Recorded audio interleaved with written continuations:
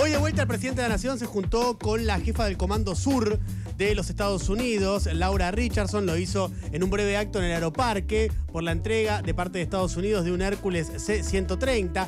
Ayer fue eh, todavía más vergonzoso el acto en sí, porque eh, en horas de la medianoche, después de seis horas de viaje, porque tuvieron que hacer escala en Río Gallegos, eh, Milei llegó y se juntó con Laura Richardson en Ushuaia, es decir, hizo 3.000 kilómetros para juntarse con una generala del gobierno de los Estados Unidos, el presidente de la nación. Eh, el eh, supuesto argumento era para monitorear avances en la base naval integrada que van a tener allí en Tierra del Fuego, Estados Unidos y Argentina. Antes de continuar con las reflexiones pertinentes sobre este hecho, para mí bastante lamentable, eh, quiero destacar una escena una serie de escenas que se dieron en muy poco tiempo que son muy mejor país del mundo.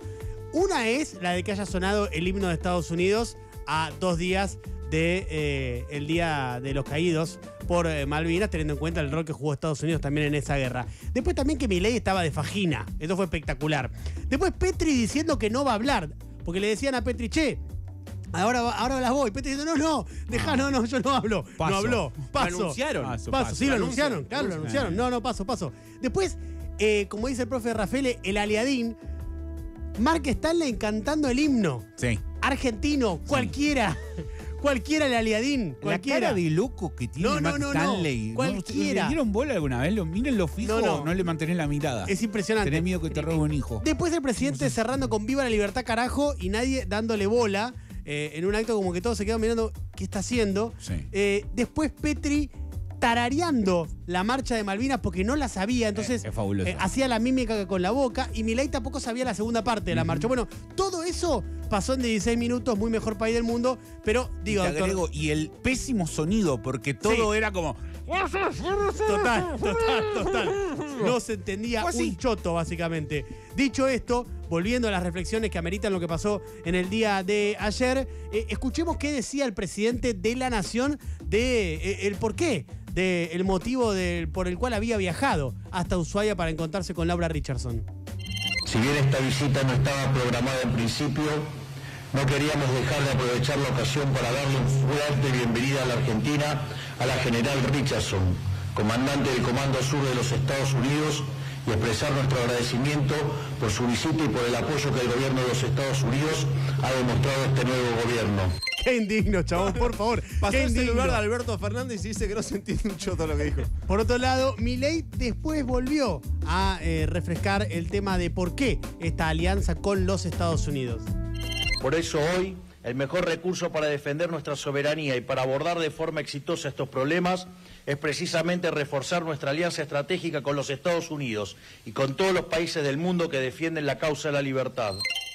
Hasta ahora ese apoyo eh, estratégico que Milei señala de los Estados Unidos eh, pareciera tener mucho más eh, para que Estados Unidos gane que para Argentina gane, al menos por lo que se observa en estos pocos meses de gobierno de Javier Milei, donde uno podría decir, bueno, ¿qué obtuvo Argentina de Estados Unidos? Bueno, si querés, forzándola un poco, cierto apoyo en la negociación con el Fondo Monetario eh, Internacional, ponele, hasta ahí, eh, y después, que acá ya no sabés dónde ponerla, si en el debe de Argentina o en el de Estados Unidos, pero eh, la compra de 24 av- aviones de combate a Dinamarca, donde Estados Unidos autoriza esa compra y además va a dar un crédito de 40 millones de dólares, un crédito blando. Pero bueno, también ahí Estados Unidos se beneficia porque Argentina finalmente rechaza la compra de los aviones chinos, que el gobierno anterior eh, miraba con buenos ojos.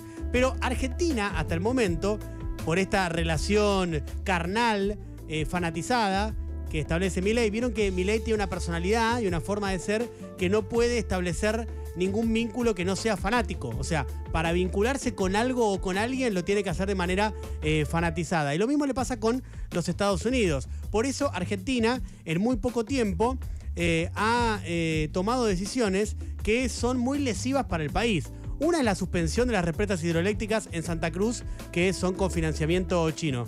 Una obra muy importante, la de las represas hidroeléctricas. La otra es la de a lo que ya se había ralentizado con el gobierno de Alberto Fernández, también hay que decirlo porque eso fue lo que pasó, pero ahora con perspectivas de que directamente no se haga, que es Atucha 3, la construcción de la nueva central eh, nuclear. Y también con eh, el retraso y la posibilidad cada vez más concreta de que no se continúe eh, el reactor Carem, un reactor nuclear también acá en la Argentina. Es decir, estamos hablando de todas obras extremadamente importantes para el país que el presidente suspende, retrasa o ralentiza porque quiere quedar bien con Estados Unidos. A esto hay que sumarle que eh, informalmente ya dijeron que el gobierno le va a pedir, no lo hicieron todavía formalmente, una inspección a la base espacial china eh, que está en Neuquén. ¿Se acuerdan? Esto arrancó con Cristina Fernández de Kirchner en el segundo gobierno, lo ratificó el Congreso de la Nación y después se terminó desconstruido durante el gobierno de Macri en 2017 y funciona en esa provincia, esa base espacial eh, china.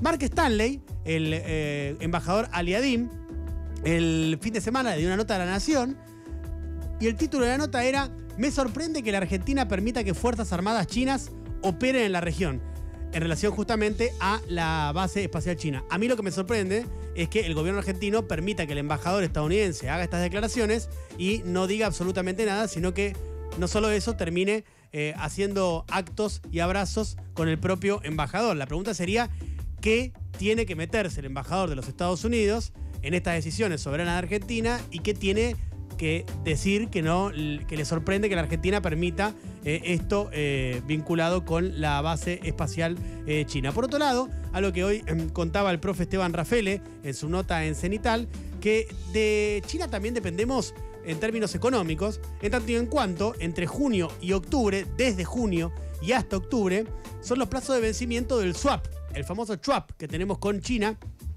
por aproximadamente 5 mil millones de dólares.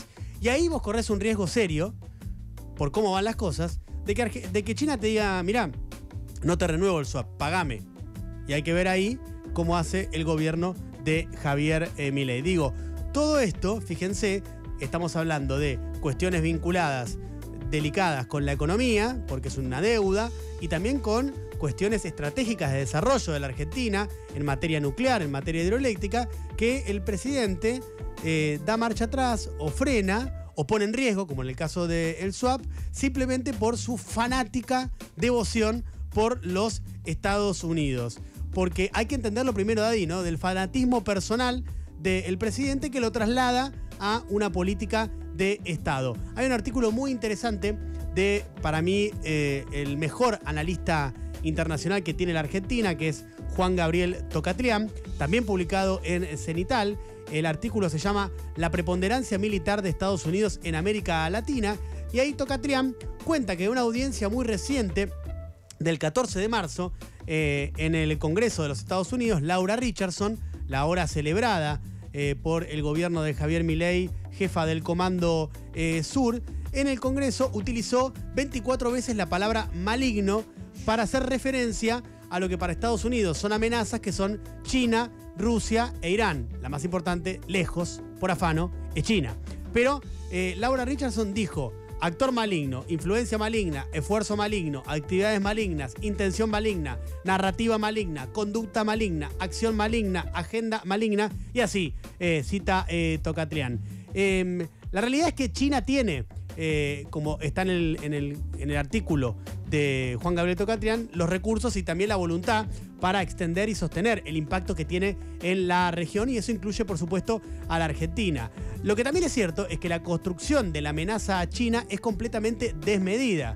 Eh, es más, Estados Unidos viene reforzando y con mucho éxito, cita Tocatrián, la preponderancia militar en toda la región, en todo Latinoamérica y China no está ni cerca de alterar esa supremacía militar de los Estados Unidos en Latinoamérica. Pero sí sirve esta narrativa, primero por la cuestión del cuco, ¿no? El cuco siempre sirve para los eh, intereses de alguien, en este caso de Estados Unidos, que plantea a China como un cuco, ¿no?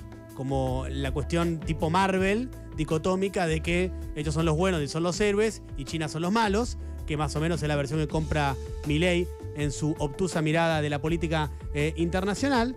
Pero además de eso, la narrativa tal vez le sirva al Comando Sur, por ejemplo, para pedir más presupuesto, porque de 2010 hasta ahora, eh, el, Comando Sur tuvo un presupuesto de 200 millones de dólares al año. Y ahora, en, una reciente, en un reciente pedido que le hicieron al Congreso, para 2025 le pidieron 323 millones de dólares, es decir, casi el doble. y ahí tiene mucho que ver la narrativa de la amenaza china en la región, que es más imaginaria, al menos en términos militares, que reales. Por último, eh, quiero eh, cerrar este comentario con lo que comenta Tocatrián también en el cierre de su artículo. Dice lo siguiente, en los tiempos por venir, desde el Pentágono en Washington y desde el Comando Sur en Miami, se insistirá con la idea de ahí vienen los chinos, ahí vienen los chinos. En serio, y con una mirada latinoamericana, ¿acá llegaron los chinos? Se pregunta Tocatrián y es una buena pregunta para hacerse en estos momentos. Diego Iglesias hace Mejor País del Mundo. Hasta las 18 en Radio con Voz.